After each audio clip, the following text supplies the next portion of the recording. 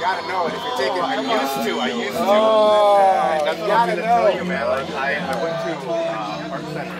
Um, science school for cars. Oh yes. Yeah. Yeah. Yeah.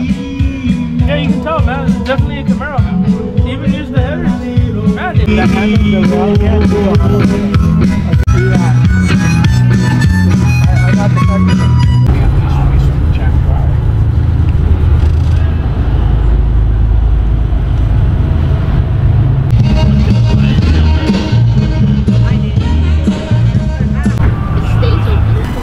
Yeah. Is Yeah. it the same car? No. It's not. It's similar though. When they bombed Pearl Harbor, that was the 50th anniversary right there.